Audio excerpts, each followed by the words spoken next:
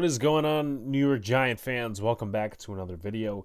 Hit the like button if you haven't already, comment, and subscribe. Turn on post notifications so you know when the live stream pops or a video drops. Appreciate all coming back. Share this out.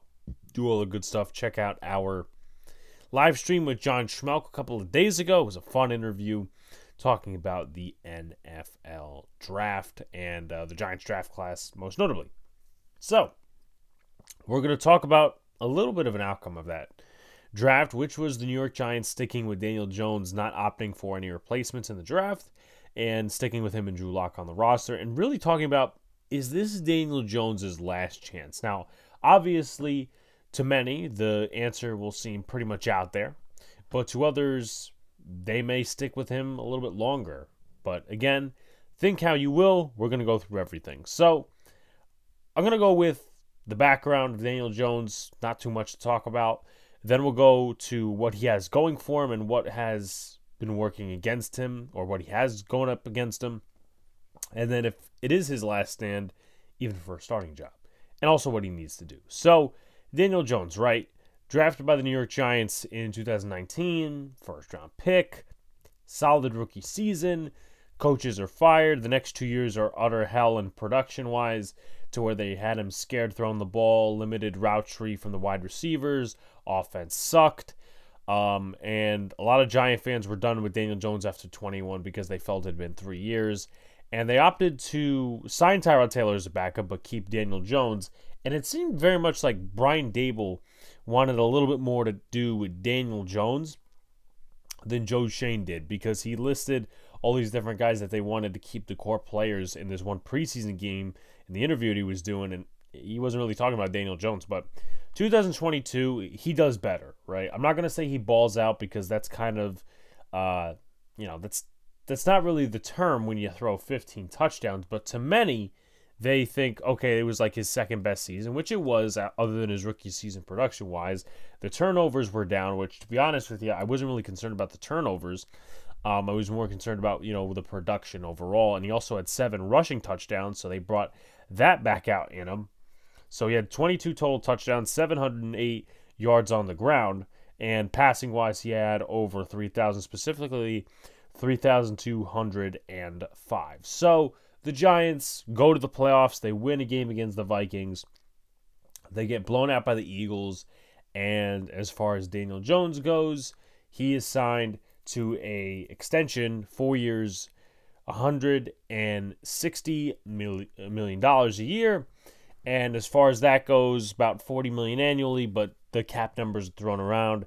Year two is basically the final year, and then the out is before year three, which you can do, but the Giants may or may not opt to do that. We'll see. Again, but 2023, everything that could go wrong went wrong for the New York Giants. The offensive line was bad, the defense was eh. Uh, Daniel Jones was pretty much not himself under the circumstances, and even with that, I think he only had really one good game. The first game against Dallas, you know, the offensive line was utter garbage. The second game, he only had one good half. The third game against San Francisco wasn't great. Missed a couple of open receivers. Kind of the same thing the following week, and then he gets injured against the uh, against the Miami Dolphins. Comes back against the Raiders. Very much so that it was uh, bad injury management by the Giants. Tears his ACL and now we're on a long rehab process back at the New York Giants. Have not elected for a replacement, and it is what it is at this moment. It is DeVito, it is Drew Lock, it is Daniel Jones. So, what does Daniel Jones have going for him this year? Well, I believe this is the best supporting cast he's ever had. Whether you're a Daniel Jones guy, you don't like Daniel Jones, this, that, and the third. Uh, this is the best supporting cast that he's probably ever seen. The offensive line, they added Jermaine Eluemunor, and these are not top A B, C. Well, I mean, I, I should say they're not like all star, you know, reinforcements. Jermaine Eluemunor is not a Pro Bowler, but he's a very solid right tackle, right guard, can play in a couple of different spots. Uh, Carmine Bricillo, just getting a new line coach in that understands the strengths and the weaknesses of the players in a better blocking scheme Theo Johnson, who they drafted in the fourth round out of Penn State. He's got a huge catch radius, will help Daniel Bellinger a little bit too. Uh, Jon Runyan, solid pass protector from Green Bay. and most notably Malik Nabers, who they drafted in the first round to help him out. And, you know, people are saying, well, this is not for Daniel Jones, it's for the Giants offense. Well, right now, Daniel Jones is the quarterback for the New York Giants. So, yeah, they are drafting him for Daniel Jones. And we'll see what happens after 2024, maybe even midway, if they opt to go with Drew Lock or something along those lines. Now, what works against him in this scenario? The injury history is a big one. Every single year he's been injured, but did not miss a game in 2022. 2019, I believe it was the ankle. Uh, 2020, I believe it was something similar. If it wasn't that, it was the hamstring. I remember that you know he was throwing passes weird against Cincinnati, and then they rushed him back, and all these other different things. 2021, it was the neck injury. 2022, I forget what injury he had, but nearly didn't play against the Packers, but he shrugged it out and, you know, credit to him, the Giants won that game and a few more games that season. In 2023, neck injury and also uh, as far as that goes, a torn ACL. So that is as far as that goes, the injury history. It's pretty long. It's pretty rampant for a quarterback that's getting paid a $40 million per year. Lack of production. Now, sometimes you could flip the coin heads, tails, whatever. The first part of his career, turnovers were the main issue. My issue now is the lack of production, right? You want to talk about the turnovers, you can. I think a lot of his interceptions last year were blown up because they were a lot of tipped passes. The lack of production, I'm talking about in terms of the touchdown stats. I'm also talking about the stuff he leaves on the field. A lot of plays were left on the field last season to where he had guys running open. Jalin Hyatt, uh, Darius Slayton, Wan'Dale Robinson against the Seahawks. Wan'Dale Robinson, he had him in the flat wide open against the Dolphins and blatantly missed him. Darren Waller, too.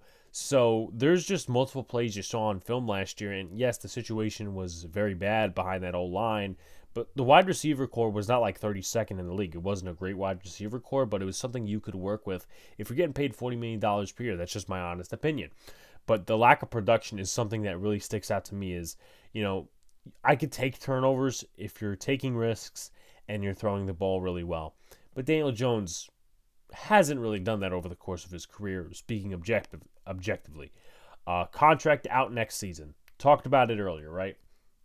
Got two years and then the out in the third year of the contract. And then, you know, obviously the fourth year, you know, I don't think they'll keep until the fourth year, but just talking about the scenarios. Joe Schoen and Brian Daboll's jobs. If Daniel Jones does not ball out this year, there are two things that could happen. The Giants could go into 2025 and select a quarterback, or they could go out there and uh, sign a quarterback in free agency, or Joe Schoen and Brian Daboll.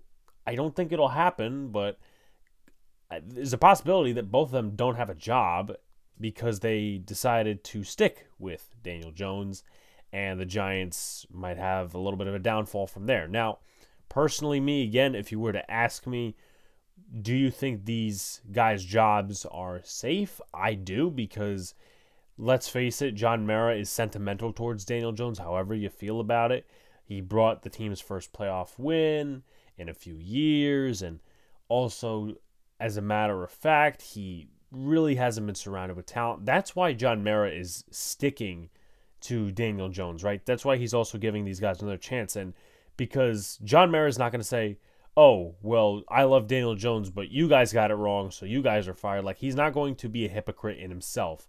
He's going to let these guys get another quarterback if Daniel Jones does fail. And he doesn't want to keep making these changes, all sorts of, you know, after three years, after two years, after a year and a half. He doesn't want to make those changes every single regime, basically. And I'll say this, right, before we go to is it his last stand, even for a starting job? You don't have to play like Patrick Mahomes. You don't have to play like a superstar. But what I'm asking of Daniel Jones and what many Giant fans have been asking of Daniel Jones is play like Dak. Now, that's not the greatest example in the world, but Dak currently $40 million. Derek Carr $37 million. Geno Smith, I think like $35 million. Baker Mayfield, somewhere in that range. I think maybe same as Daniel Jones, maybe a little bit more than Daniel Jones because of the way he paraded himself in Tampa and they got to the playoffs and did some things. So as far as that goes, we're not asking him to play like Josh Allen. We're not asking him to play like Patrick Mahomes. We're asking him to go out there. This is the best situation. Go through any adversity that you face and put up numbers. Stop leaving plays on the field when you have receivers open. That's what I'm saying. And verdict is it his last stand even for a starting job? I think it is his last stand as a Giants quarterback. And if he is that bad, they would probably throw in Drew Lock. I think also something that works against him is the first few weeks of the season, he has an injury designation. So if he gets injured, the Giants are charged $25 million, and I think the contract rolls over to the next year. So the Giants may not want to really deal with that. And, you know, I don't blame them.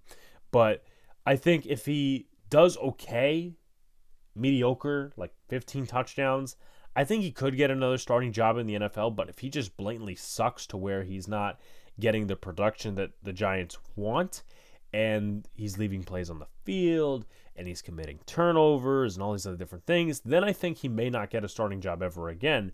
And, you know, that's very interesting to say because there's still some quarterback needy teams out there that would take a Daniel Jones, but, you know, I just don't see. There's I think there's going to be teams more that reach in the draft next year for quarterbacks because there's a quantity more than a quality. But again, I think either way, it's his last stand as New York Giants quarterback for the starting job. Like, comment, subscribe to all the good stuff, turn on post notifications so you know when a live stream pops or drops. Appreciate y'all coming back. Share this out. Let's try to get to 2,000 as fast as possible. Appreciate you guys. See you later.